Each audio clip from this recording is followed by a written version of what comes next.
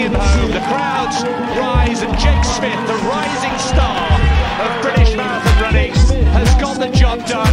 There he is, just outside 62 minutes, and Jake Smith now he can relax. He wins the big half. Alright, so we're back for another YouTube video. Uh, this time I'm going to explain how I think the race went at the Night of 10Ks. It was part of the British Champs, and yeah, I'm just going to go through some questions, going back on how I did, how I felt going into that race. Um, as it was quite a late race, it started at 9:25 p.m. How I changed my day around to suit the needs of the race. I finished seventh overall in the race, and I was the fourth Brit home. So I finished fourth at quite a lot of races. So just missed the podium in terms of the British field. Um, seventh overall, which is I was very very pleased with considering like Cripper won in 27 15 16. I ran 28.01, so a big PB. Um, went through the first 5k in a swift 13.44, and yeah, I would. I didn't like necessarily die, but it was just it was because it was like a champs race. I had to just get involved, and because Emile and Sam Atkin were just running on the lights, um, uh, at about four four and a half k, I made like a bit of a surge to catch him up, so I wouldn't have to do all the work. And yeah, I, I as soon as I finished race, I was absolutely buzzing like buzzing with it. Um, the only negative of it was my last lap, which we'll go into later on in this video.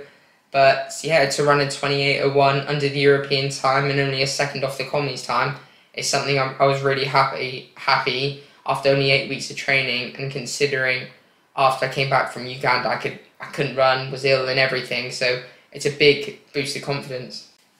The event itself was unreal. I got there about two, two and a half hours before.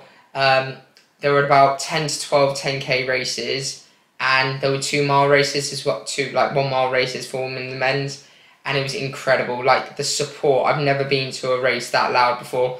Um, they call it like the Glastonbury of running, so you're just running around the track and you just can't you can't hear anything else apart from people shouting your name um, I couldn't even think of focus on my breathing or anything like that. Um, there was lots of different events going on during the race, so there was like all these different people just screaming. Fire was going absolutely mental. So in terms of my actual aims, of course, like I wanted to break 28. Like 28 is a big barrier, and um, I know I'm strong enough. I know I'm in shape to run that sub 28. Uh, unfortunately, there weren't any lights going at 28 minute pace. It was only 27.28 and like to go for 28.15. And because it was part of the British Champs race, I I spoke to my coach and we literally agreed like it was first race, so I was just going to get involved. I didn't want to really think about times during the race. Like I just wanted to get stuck in and see how high I could place up. And I beat some really really good people and to finish fourth behind Sam Atkin, Emile Cairess and Ben Connor I'll put my hands up, I was absolutely buzzing with it. So, as I've mentioned previously, the race started at 9.25pm, which is extremely late considering probably the latest I normally start training, like sessions wise, is about 6.30. Um, in order to almost delay the day, I just shifted like what time I would have food back. I made sure I had like a good nap, but not too late, too early. I made sure when I woke up after, I was like stayed hydrated, um, and I just wanted to get everything right on the day because I mean last year I did after Euro 10k Cup and it was a very similar time, and so I just needed to make sure I got everything right, and I felt my preparation into this year's event was much better than last year's, and that could have been just because I ate a bit later, I ate better food, um, I hydrated a lot more, I was less stressed and I was just enjoying it. I've never been so excited to race in my life. Like I was on that start line and I was just, just everyone could tell I was just buzzing to be there and just getting being part of it. All I wanted to do was just start. So the race we set off, as I mentioned before, there were two lights. So there's a first lights going off at 27.28 pace, which is the World Champs qualifier, and the others was at 28.15. So um, the race started off and it was in each race there were like 35 40 people so as you can imagine very bunched and i'm not the very best at starting, especially in track races. So I was pushed back near to the back for the first lap or two, and I saw like Jack Rowe making a bit of a break towards the front with Emile and uh, Zak Mahamed. They were all ahead of me, so I thought in order to make sure I run a quick time, I need to get towards the front. I need to get out of trouble and just get into lane one. So for the first 2k, I was just maneuvering myself, trying to find the best spot. And after about two to 5k, I was literally just sat in behind Jack, Jack Rowe, which was great because he's quite a lot bigger than me. So he was just taking the wind the whole way. And and then he started at about four and a half k. I saw there was a bit of a gap um, building between the first three and the rest of the group. So that's when I started to make my break um, caught back up to the group, and then now I've watched a video back. As soon as I catch back up, I think Cripper looked behind and put in like a 63, 64 second lap, which did hurt me quite a bit because I made quite a big effort to get there. And so I was like falling off that pack again. Fortunately, Ben Connor um, and Ollie, he's from New Zealand, basically us three just worked together until the final lap where they both absolutely destroyed me. But apart from that, we were just like sharing the lead.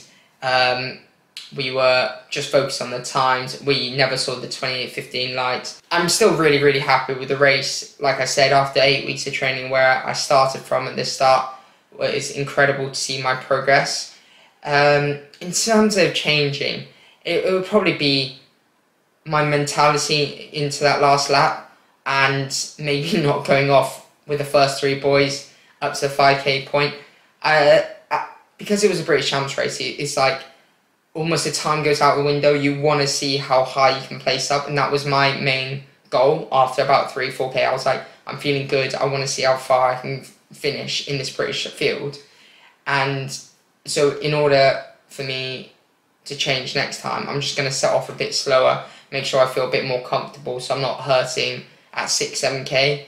But yeah, all in all, I was really, really happy. It was that last lap, I just I need to speak to my coach a bit more, speak to other people in sessions, just making sure I can help myself a bit more because it's not that I'm too tired. It's just I feel like there's like a mental block in my like head in that last lap, and I just don't know how to. I don't even need to pick it up. Like all I needed to do was run a 66, 67, and I would have broken 28 minutes. So what would I do differently in the next 10k race? Um, like I just mentioned, first bit would be to set off a bit slower.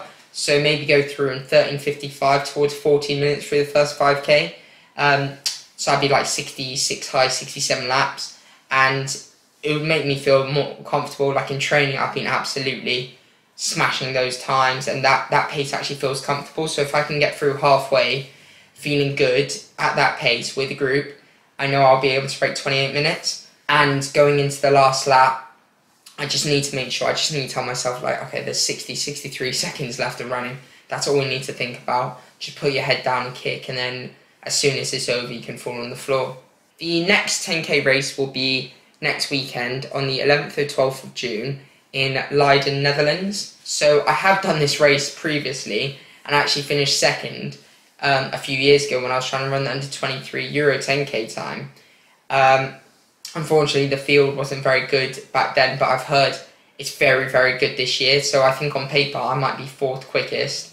And I know I've heard some people going off at sub 27.30 pace, but from about 4th to 15th, I think they've run like 28 to 28 20. So I know a lot of people be will try to be breaking that 28 minute barrier. And um, there's this German guy I know there who's also going to compete, and he's looking at 27.45, 27.50 but he's a very intelligent racer. So I'm looking forward just to like sitting on the back with him, working with him, and seeing how close, how much time we can take out of 28 minutes. That is the main goal. So I've spoken to my coach quite a lot recently about how the race went. Like I said, we were both really happy with how I attacked it because it was a British champs race. I had to just go for it and just see what I was capable of. Um, in sessions you may have seen on my Strava or on Instagram or even through YouTube. Uh, I'm trying to work on that leg turnover even more. So I'm trying to make like 64, 65 feel comfortable. So there's a lot of 400 to 800 reps at that pace. So it's more closer to 5k pace because I'm a big believer in if you train under the pace you want to be racing at, um, on race day, it will just feel really, really comfortable. Other races, so we, like for example, I'm doing an NAL tomorrow, 3K tomorrow. Um, so I'm going to try different distances and see how the body reacts to it. Implement these races into my training and just give me a bit more motivation going into the 10k.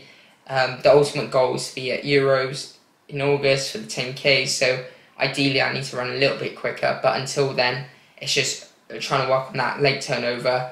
And yeah, I'm just really excited to see how this summer goes, and it's a great start to it. So thank you very much for watching this video about my review of the Highgate Night of 10Ks. Um, all in all, great race, and I would recommend everyone going, even if you're just a spectator, you have to go there. And yeah, just keep watching these YouTube videos to see how I progress over the summer. I still have a couple of more months left of races, so I'm absolutely buzzing. Training is getting hard, it's getting hot, and yeah, the group's getting big. So enjoy and see you soon.